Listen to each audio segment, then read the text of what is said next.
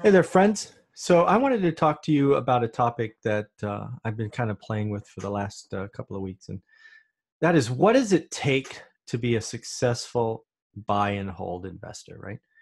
What does it take to be asset rich and cash happy?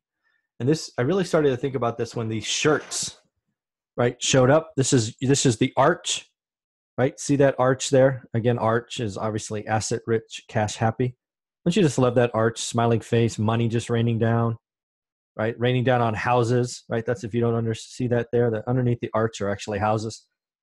Very proud of my uh, my daughter. She created this, and uh, I look at this shirt all the time, and it makes me happy. But I've been looking at it, going, okay, so what does it take to be asset rich, cash happy, right? Or a successful buy and hold investor? And I think there's five things that it takes.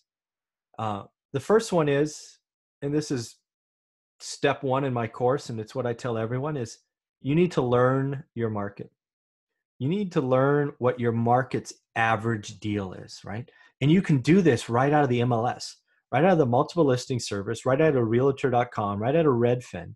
If you spend 30 to 90 days, depending on your schedule, just looking at the base facts of your market and a set criteria, which we talk about in the course, you will learn your market better than 99% of the real estate agents.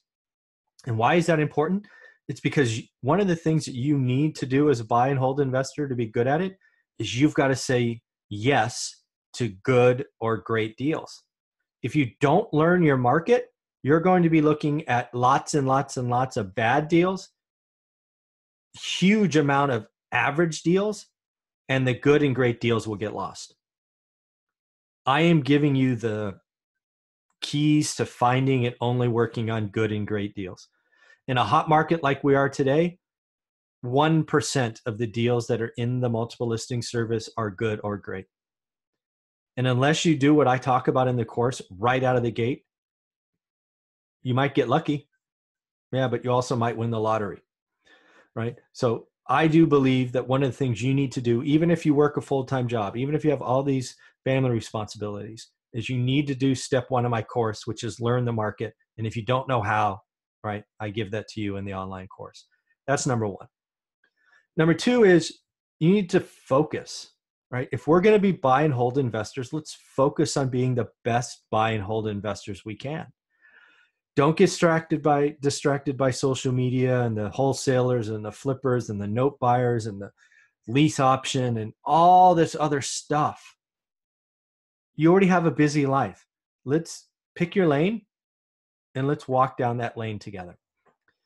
If you happen to be a buy and hold investor like me, I would I would welcome you to subscribe to this channel and just let's go together. And if you have questions, take advantage of my subscriber questions and just leave a question in, in any comment on any video. If you've got to uh, do chunk money, which is flipping and wholesaling, uh, there's lots and lots of people out there that are great for that. I'm sorry, that's that's not my skill set. Uh, I do some of the flipping, but that's not what I feel great teaching, and, and won't do that. So, pick your lane.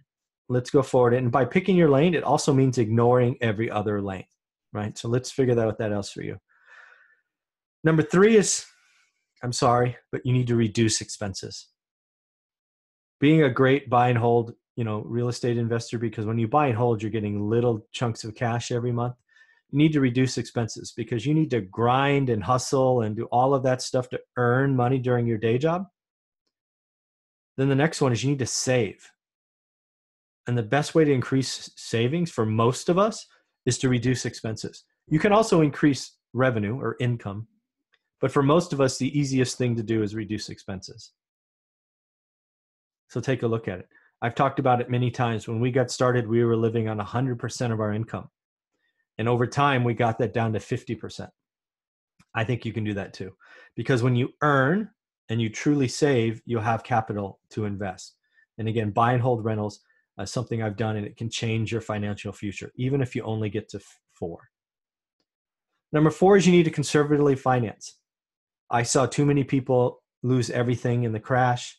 Once the domino started falling, um, you know, bad things happened you know there were people that had very very impressive balance sheets that lost it all um, people are far too focused on balance sheets, in my opinion, when you should be looking at the income statement. So if you have a day job, you want to be low stress, you want to just take positive steps forward in your financial future, put an extra 10% down. Let's make sure this asset cash flows. Let's make sure your tenants can pay it off. That's what we're trying to do, right? You know how you get a tenant to pay off your house? Is you own it for 30 years. Right? That's how it happens. So conservatively finance. And when you conservatively finance, if the market gets cut in half tomorrow, doesn't matter, right? You can hold through. We owned, I don't know, let's just call it 80 doors when the crash happened, and lots of people lost everything when they had less.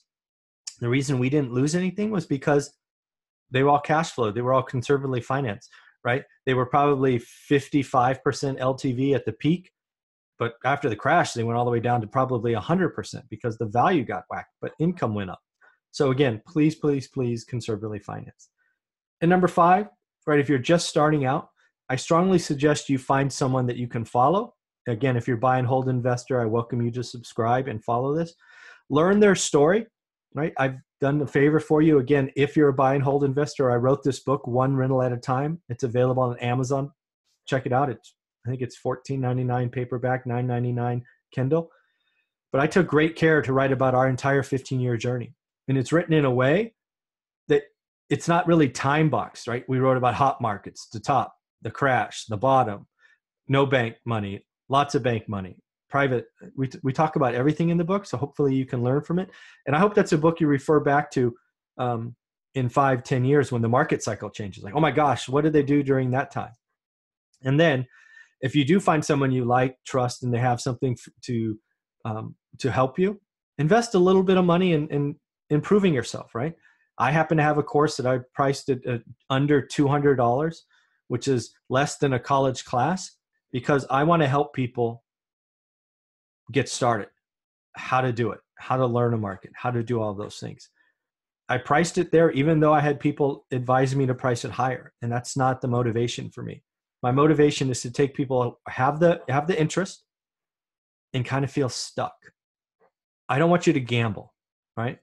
I want you to be an investor, and that's what I'm trying to do. So, at the end of the day, those are the five things that I think makes it you helps you become a successful buy and hold investor. Bye.